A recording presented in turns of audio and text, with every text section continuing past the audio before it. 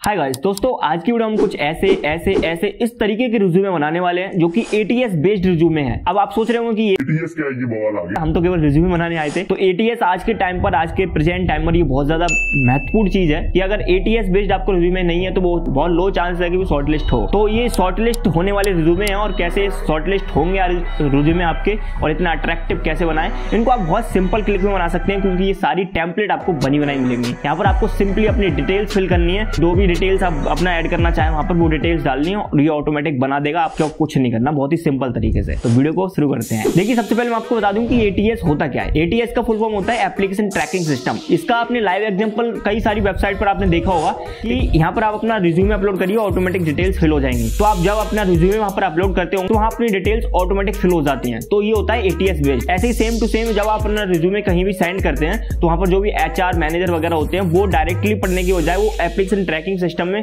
सारी डिटेल्स आपकी automatic fill हो जाती हैं और वो क्राइटेरिया देख लेते हैं कि फिल कर रहा है, नहीं कर रहा है। तो ऐसे होता है एटीएस बेस्ड रिज्यूमे तो ये आज के टाइम पर होना बहुत ज़्यादा इंपॉर्टेंट है। अगर नहीं है तो शॉर्टलिस्ट होने के चांसेस बहुत कम है। दोस्तों, आज की वीडियो हम यूज़ करने वाले हैं कैनवा डॉट कॉम या फिर कह लो कैनवा ऐप मोबाइल यूज़र की संख्या ज़्यादा है क्योंकि हर किसी के पास लैपटॉप नहीं होता। हालाँकि आप ये चीज़ जो कैनवा डॉट कॉम वेबसाइट है वो फ़ोन में भी यूज़ कर सकते हैं, ठीक है? लेकिन मैं एप्लीकेशन की मदद से बनाऊँगा क्योंकि एप्लीकेशन ज़्यादा यूज़र फ्रेंडली है और हर कोई उसको यूज़ कर सकता है बहुत ही आसानी तरीके से। तो आप सीधा स्क्रीन पर चलते हैं और वहाँ पर ही आपको दिखाते हैं कैसे क्या करना है। प्ले स्टोर पर जाइएगा कैनवा सर्च करिएगा और डाउनलोड करिएगा। ये ऑलरेडी मेरे में डाउनलोड है तो मैं इसको डायरेक्टली ओपन करता हूँ। आप इस पर आईडी बना लीजिएगा, आप इतना तो कर ही लेंगे। तो देखिए आईडी वगैरह जब फिट कर लेंगे आप तो अपना कैनवा खोलेंगे तो ऐसा खोलेगा। यहाँ पर बहुत सारी टेम्पलेट्स मिलेंगी आप, लेकिन यहाँ पर आपको कुछ नहीं करना सर्च बार में जाना है। यहाँ पर सर्च करना है प्रोफेशनल में ठीक है? मैं यहाँ पर सर्च करता हूँ और अभी देखिएगा, यहाँ पर बहुत सारी टेम्पलेट्स यहाँ पर दिखा देगा। और जो भी आपको अच्छी लगे वो चूज़ कर लेना। तो देखिएगा कितनी अच्छी अच्छी टेम्पलेट्स यहाँ पर दिखा रहा है। जो भी रिज्यू में आपको अच्छा लगे, वो आप चूज़ कर सकते हैं यहाँ पर। तो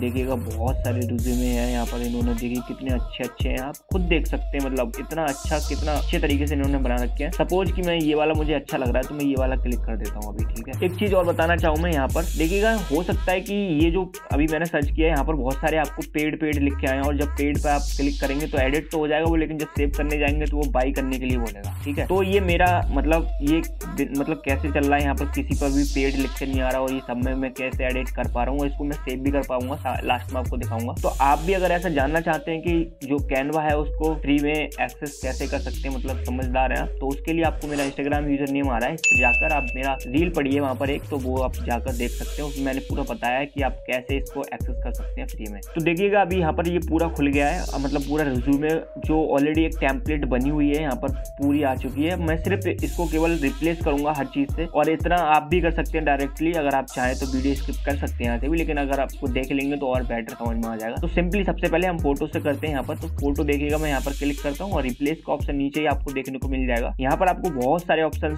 नीचे देखने को मिल जाएँगे, लेकिन आपको ज़्यादा कुछ नहीं करना है रिज्यूमे बनाते टाइम की केवल रिप्लेस करना है और टेक्स्ट रिप्लेस करना है और ये फ़ोटो रिप्लेस करना है। तो देखिएगा रिप्लेस पे मैं क्लिक करता हूँ सपोज़ मुझे यही अपनी फ़ोटो लगानी है लोगो वाला मुझे बहुत अच्छा लगता है। तो देखिएगा, मैंने अपना फ़ोटो लगा दिया यहाँ पर और सिंपली उसके बाद मैं अपना नेम डालूँगा, यहाँ पर नेम एडिट करूँगा, नीचे एडिट का ऑप्शन आपको देखने को मिलेगा। फॉन्ट भी चेंज कर सकते हैं यहाँ पर। लेकिन मैं सजेस्ट करूँगा कि आप कोई भी फॉन्ट चेंज ना करें, क्योंकि जो कुछ भी है, आपको ऑलरेडी बना बनाया मिल रहा है, केवल यहाँ पर एडिट करना है। तो सिंपली मैं एडिट पे क्लिक करूँगा और यहाँ पर अपना नाम डाल दूँगा।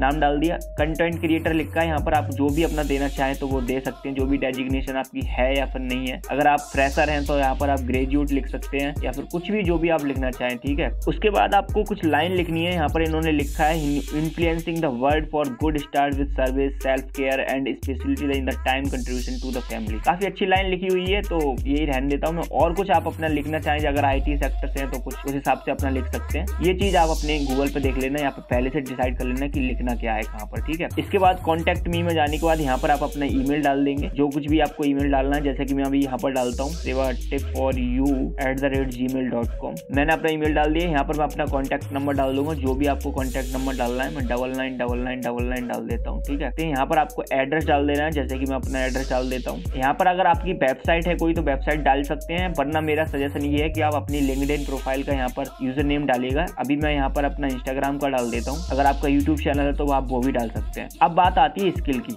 जो कि आपको सबसे ज़्यादा मेन चीज़ है यहाँ पर कि आपके अंदर क्या क्या स्किल्स हैं, वो जो कि आप कर सकते हैं, ठीक है? तो यहाँ पर प्रोजेक्ट मैनेजमेंट लिखा है, मैं यहाँ पर एक प्रोग्रामिंग लैंग्वेज का नाम लिखता हूँ, ठीक है? तो मैं जावा लिख दूँगा यहाँ पर। अब यहाँ पर ये आपको बार दिख रहा होगा तो इसका बार ये दर्शाता है, ये दिखा रहा है कि आपको कितनी आती है ये। तो यहाँ पर आपको सिंपली करना है और ये एडिट का ऑप्शन आपको मिलेगा। ये परसेंटेज से आप ये दिखा सकते हैं कि आपको अगर कितनी आती है। जैसे कि मुझे अगर फुल अच्छे से आती है तो मैं फुल पे कर दूँगा, और अगर मुझे हाफ़ आती है मतलब फिफ्टी आती है तो यहाँ पर छोड़ दूँगा। सेम टू सेम आपको कोई दूसरी लैंग्वेज आती है तो मैं यहाँ पर कर देता हूँ। दूसरी लैंग्वेज के लिए एच लिख दूँगा मैं यहाँ पर।